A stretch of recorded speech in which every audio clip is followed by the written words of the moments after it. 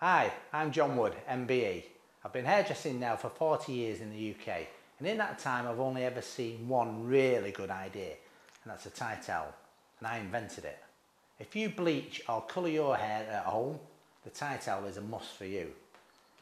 It fits round the shoulders, there's plenty of it and it fastens on by the use of a toggle. Right Jess, sometime today? Thank you.